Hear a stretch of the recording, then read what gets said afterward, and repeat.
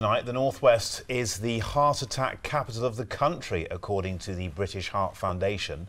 The charity says that twice as many people die from coronary disease here compared to in the south. They say more research is needed to prevent them and to improve treatment. Tonight, we're looking at what we can do about it after this report from Ashley Derricott. Peter was 32 when a genetic condition caused a series of heart attacks. Being so young, naturally, it was a shock for him to come so close to death. Now he relies on a surgically implanted defibrillator to keep him alive, should his heart stop beating again. I wake up in the morning and think, well, is this going to be the day? It's going to happen again. And I go to bed thinking, will it happen while I'm asleep? It's just never, it's always at the forefront of your mind. It never goes away. There are around 300,000 people now living with heart disease in this region. In Tameside, the problem's at its most acute, with among the highest rates of death in the country. There, it's almost three times higher than in one of the most affluent parts of London. Obesity is said to be a major contributor to risk, so too factors such as smoking. At the University of Manchester, researchers try finding new ways of extending patients' lives here they're exploring how to repair the organ tissue damaged by a heart attack. It basically just becomes a scar like anywhere else in the, in the body. It's incapable of contracting and therefore of pumping blood. So one question is, is it possible to either turn that scar back into healthy cardiac muscle or perhaps more likely repopulate the heart with other cells, for example stem cells, and regenerate cardiac muscle.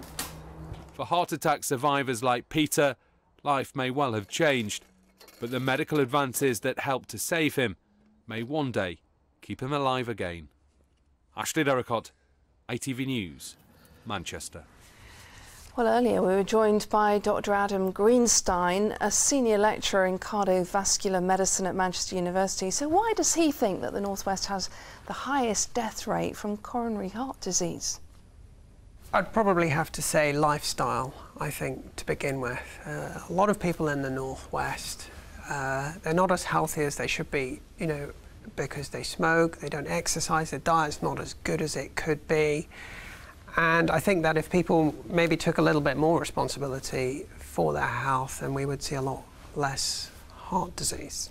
One of the new things that's come out is the the dreadful feeling of living in fear once you've had a heart attack of it happening again. How tough is that for people to live with? Once you've had your heart attack, you tend to get these really disabling symptoms, you know, for example, chest pain or breathlessness, or you're tired all the time, and that can really limit you. But then on the other hand, you're scared. And we're increasingly aware that this happens to a lot of people. So they're scared that they may have another heart attack. They're fearful. They may not be able to do as much as they want to be able to do. And I think all of this adds up to a very dangerous combination of psychological and physical symptoms. And what impact would that have on their family as well? They take on a different role in the family. They'll take on a role maybe as a carer, whereas before you were a partner and an equal partner on an equal footing in the relationship.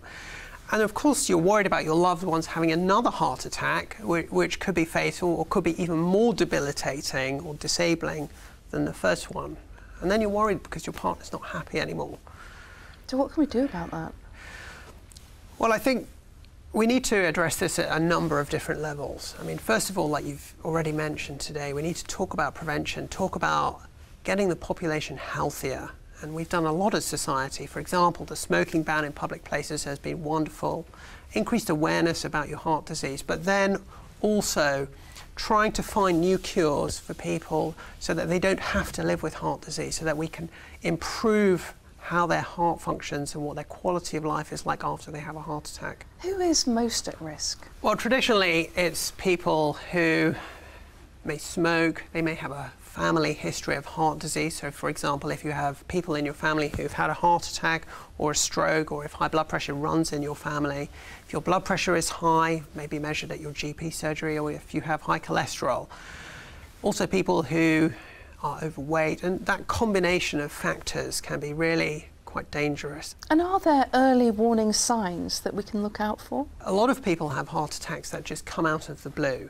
Um, but then there are people who do get warning signs, and these warning signs can be tightness in the chest. So classically, this is described as almost being a bit like somebody sitting on your chest. So there's a tightness across your chest. You may be tired, or you may feel this tightness across your chest, or breathless when you exercise. And so if you see yourself as being part of that target audience where maybe you have a family history, you smoke, you're overweight, you may know that you have high blood pressure and you start getting these symptoms when you exert yourself, then it's time to go and see your doctor. Doctor, thank you very much indeed for joining us.